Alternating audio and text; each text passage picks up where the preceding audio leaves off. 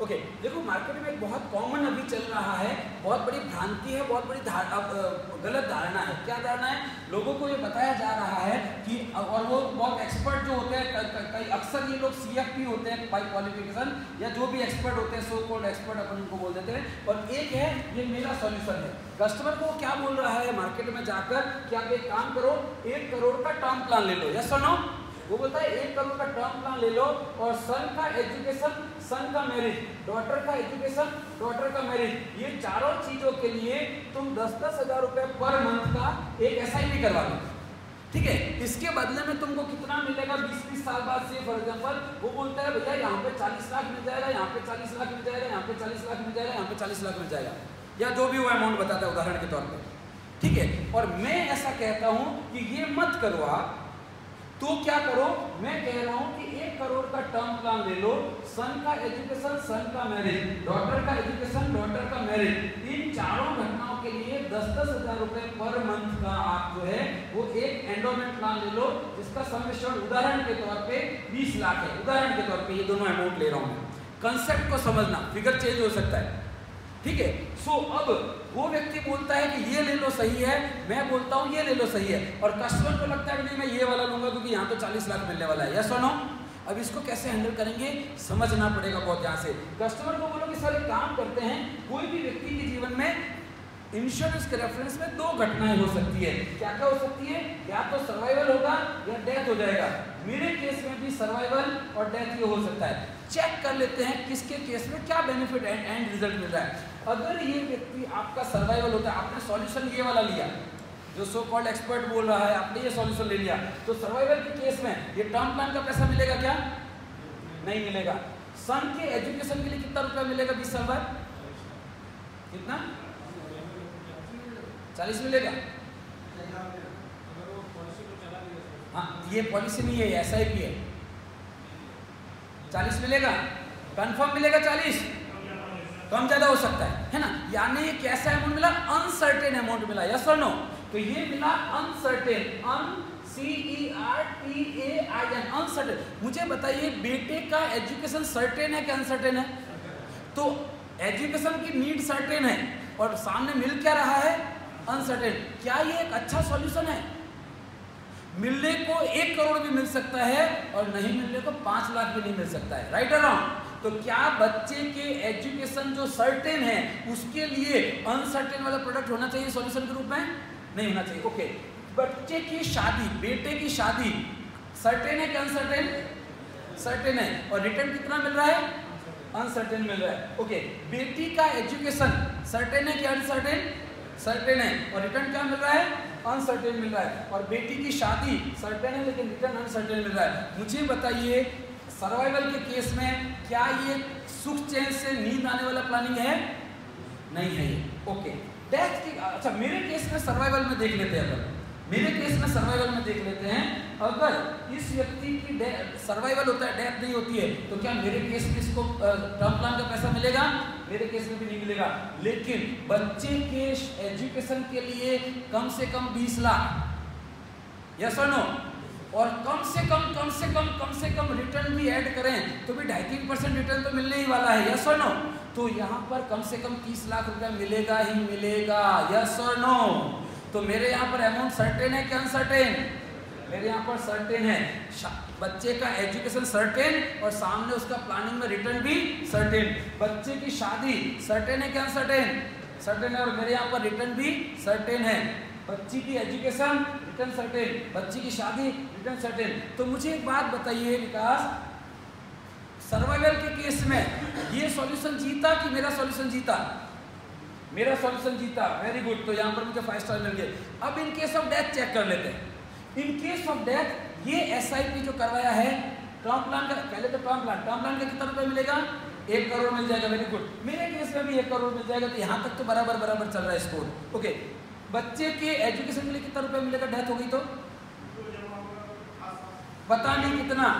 हो सकता है चार इंस्टॉलमेंट ही भराओ हो। सकता है चौदह इंस्टॉलमेंट भराओ हु नोज़ तो यहाँ पर और ज़्यादा हालत खराब हो जाएगी। यस और नो तो यहाँ पर और बड़ा क्वेश्चन मार्क लग गया। बच्चे की शादी। बड़ा क्वेश्चन मार्क बच्ची की एजुकेशन, बड़ा क्वेश्चन मार्क और बच्चे की शादी बच्ची की शादी, बड़ा क्वेश्चन मार्क मुझे बताइए विकास, क्या डेथ के केस में ये चैन से सोने वाला सॉल्यूशन है? क्या बाद में घर वाले चैन से सो पाएँगे? नहीं। मेरे केस में चेक कर लेते हैं। मेरे केस में एक करोड़ टर्म प्लान तो मिल रहा है। यहाँ पर कम से कम 20 लाख रुपया सम एश्योर्ड कंफर्म मिल रहा है। यस और नो तो यहाँ पर और आगे के प्रीमियम माफ़ हो रहे हैं। है ना? और यहाँ बच्चे की शादी में भी 20 लाख, बच्चे की एजुकेशन में 20 लाख और बच्चे की शादी। यानी यहाँ पर चारों केसेस में कम से कम 20 लाख रुपया तो मिलेगा ही। मुझे बताइए डेथ के केस में ये जीत रहा है कि मैं जीत रहा हूँ? मैं जीत रहा हूँ। तो फिर क्यों आप उस चक्कर में पड़े हो?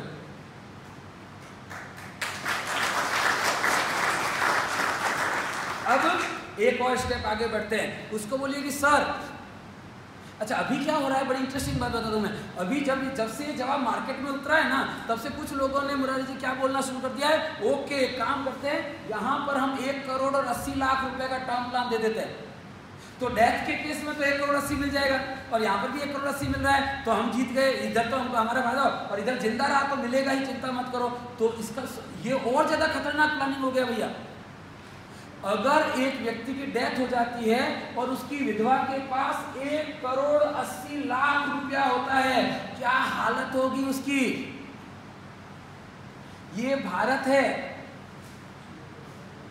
हेलो, विनोद, एक विधवा के पास एक करोड़ अस्सी लाख रुपया। क्या होगा? उसके देवर को भी एक आइडिया आएगा। उसके भाई को एक आइडिया आएगा। उसके ससुर के पास ऑलरेडी एक आइडिया है। उसके बहन के पति को भी एक आइडिया आएगा। यस और नो ये वैसे ही इमोशनली ब्रेकडाउन है। सब लोग गिद्ध की तरह आएँगे, उसके तरफ़ मंडराने लगेंगे और सारा पैसा ले लेके चले जाएँगे। यस और नो ये भारत है, ये भूलना नहीं है अपने को। सोशियो इकोनॉमिक फैक्टर बोलते हैं इसको। अगर उस विधवा के पास एक करोड़ अस्सी लाख रुपया आ गया, अगर नहीं आता मुरारी जी तो क्या होता? तो भाई आता, सग्गा भाई सुबह आता और बोलता है बहन, तेरे को तो पता है नौकरी में छुट्टी नहीं मिलती है आजकल बॉस निकाल देता है, वैसे ही तेरे को पता है तकलीफ़ चली है, शाम को जाना पड़ेगा। बहन भी बोलती, कोई बात नहीं भाई, जा, चला जा, मैं भी समझ सकती हूँ जाने वाला गया, क्या हो सकता है? लेकिन भाई को जब पता चलेगा ना, एक करोड़ अस्सी लाख रुपया है तो महीने भर की छुट्टी पहले से डाल के आएगा। यस नो तो मुझे बताइए, यहाँ पर आपकी वाइफ की ज़िंदगी और ज़्यादा आराम हो गई कि आरामदायक रही? बहुत ज़्यादा रहूँगी लेकिन मेरे केस में ये पैसा अभी नहीं मिलेगा। ये प्रीमियम पेमेंट प्रीमियम बंद हो जाएगा। लेकिन एक्चुअल पैसा मिलेगा एक्चुअल मैच्योरिटी के टाइम पे यस और नो ये एक करोड़ अस्सी लाख शायद बच्चे बड़े होंगे, पढ़ाई के बाद तब रुकेगा, बचेगा भी नहीं। लेकिन यहाँ मिलेगा ही तब जब वो एक्चुअल मैच्योरिटी होती है यस और नो अच्छा ये एक करोड़ भी एक साथ नहीं मिलेगा। इसका रेगुलर रेगुलर टुकड़े टुकड़े टुकड़े टुकड़े करके मिलेगा जब जब ज़रूरत पड़ेगी। तो घर में पैसा आ ही नहीं रहा है करोड़ अस्सी लाख तो घर वालों के पीछे कोई हाथों के पड़ेगा भी नहीं। यस और नो तो इस केस में भी दोनों में से कौन विजेता हुआ? बताइए उसको कस्टमर को। अपने केस में क्या होता है? बहुत सारे प्लान ऐसे हैं जिसमें डेथ हो जाती है कस्टमर की तो अभी पैसा नहीं मिलता है। एक्चुअल मैच्योरिटी टाइम पे पैसा मिलता है। है ना ऐसा कुछ प्लान ठीक है? और टर्म प्लान में भी ऐसा होता है कि सारा एक करोड़ अभी नहीं मिलेगा। आप इसको इंस्टॉलमेंट में ले सकते हो। इस तरह से कुछ सॉल्यूशन होता है। सेटलमेंट ऑप्शन आता है। तो सेटलमेंट ऑप्शन तो अभी आया ही नहीं पैसा। तो आजू बाजू में लोग गिद्ध की तरह मंडराएँगे नहीं। और लंबे समय तक पैसा रहे। अच्छा मैं बता दूँ, अखबार पढ़ते होगा आप। अखबार में पढ़ा होगा कि पिता की मृत्यु के बाद पंद्रहवें दिन बेटा बाइक लेके आता है। गाँव में ऐसा बहुत होता है। क्यों? क्योंकि डेढ़ लाख रुपया एल का मैच्योरिटी आया है वहाँ पे। और पिता की मृत्यु के बाद माँ के ऊपर दादागिरी हो जाती है, बेटी की और ज़्यादा। पहले ही नहीं सुनता था। तो अब तो क्या सुनेगा? बोलेगा, पैसा आ गया, दे मेरे को। और वो दे के लेके आएगा बाइक। यस सर नो तो अपने केस में आ ही नहीं रहा डेढ़ लाख एक साथ उसके हाथ में। आएगा ही सेटलमेंट ऑप्शन के तहत थोड़ा थोड़ा करके। तो एक्चुअल जो पर्पस था, वो मेरे केस में पूरा हो रहा है, इस केस में पूरा नहीं हो रहा है। अब लास्ट ब्रह्मास्त्र बता रहा हूँ, बहुत ध्यान से सुनना। उसको बोलो कि, सर, मैं ऐसा नहीं कह रहा हूँ कि एसआईपी मत करवाओ एसआईपी ज़रूर करवाओ, पर किस चीज़ के लिए करवाओ, वो समझना बहुत ज़रूरी है। किस चीज़ के लिए करवाओ, वो समझना बहुत ज़रूरी है। एसआईपी में क्या? अमाउंट सर्टेन होता है नहीं होता है। हायर रिटर्न होते हैं इसमें? नहीं। संभावना होती है हायर रिटर्न की। प्रोबेबिलिटी ऑफ़ हायर रिटर्न है। अगर ये प्रोबेबिलिटी ऑफ़ हायर रिटर्न नहीं हुआ, किसी भी तो कस्टमर वो एस आई पी बेचने वाला अरे, क्या बात करते हो सर हिस्ट्री देखो सर इतिहास गवाह है, हमारे यहाँ पे 14.94 परसेंट रिटर्न मिला है। तो उसको बोलो, उसी इतिहास में चार बार मार्केट डाउन भी गया है तुम्हारा। यस और नो और वो डाउन कैसा गया है कि पाँच पाँच छह छह हज़ार पॉइंट डाउन चला गया है। तो न करे ईश्वर और मेरी किस्मत में लिखा हो वो डाउन वाला टाइम तो। एक बेटे का एजुकेशन की बारी है, यार, दो महीने पहले डाउन हो गया मार्केट तो दो साल पहले हो गया तो मैं कहाँ जाऊँगा? तो उसको बोलो कि, सर, जो चीज़ सर्टेन होती है एस करवाना चाहिए, मैं मना नहीं कर रहा हूँ, पर ज़िंदगी में जो चीज़ सर्टेन होनी ही है, उसके लिए कवर भी ऐसे करना पड़ेगा, जिससे सर्टेन रिटर्न मिलता हो। एस भी किस चीज़ के लिए करवानी होती है पता है? सपोज़ आपको वर्ल्ड ट्रिप पे जाना है वर्ल्ड टूर पे जाना है, कि मैं जब रिटायर हो जाऊँगा तो मैं यूरोप घूमने जाऊँगा। वेरी गुड अभी से एसआईपी करवाना शुरू करो। जब तुम रिटायर हो जाओगे तो तुम्हारे एसआईपी एडवाइजर के अनुसार तुमको एक करोड़ रुपया मिलेगा। जाओ यूरोप घूमने के लिए पूरे वर्ल्ड टूर पे जाओ। लेकिन अगर नहीं मिला तो तो कोई टेंशन नहीं है। श्रीलंका घूम के वापस आ सकते हो। नुकसान नहीं हुआ कुछ भी। नुकसान हुआ क्या? नुकसान? तुम वर्ल्ड ट्रिप घूमोगे, उसकी जगह खाली श्रीलंका घूमोगे, नुकसान नहीं है कुछ। लेकिन अगर तुमने बेटे को पायलट बनाने के लिए प्लानिंग किया और पैसा नहीं आया तो उसको अटेंडेंट बनाना पड़ेगा वहाँ पे। अगर तुमने बेटे को सर्जन बनाने के लिए यूएसए का प्लान किया और पैसा नहीं आया तो उसको कंपाउंडर बनना पड़ेगा। यस और नो तो ये रिस्क नहीं ले सकते आप। अगर आपको ऐसा लगता है विनोद कि मैं बंगलो बनाऊँगा, दस रूम का बंगलो बनाऊँगा एसआईपी अभी से करवाना शुरू करो। रिटायर हो गए ना बीस तीस साल में, तब तक तुम्हारे पास दो करोड़ रुपया आ जाएगा। बंगलो बना लो, लेकिन अगर दो करोड़ रुपया नहीं आया तो? तो दो बेडरूम हॉल किचन में भी चल जाएगा तुम्हारा काम।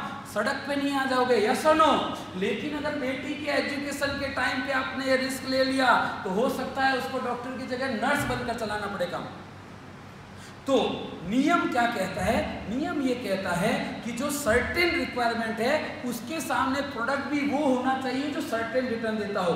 और अगर आपको विश है, इच्छा है तो बड़ा अच्छा करने की इच्छा है तो उसके लिए वो प्रोडक्ट ले सकते हो जिसमें ज़्यादा आने की संभावना है। यस और नो हैंडल कर पाएँगे आज के बाद?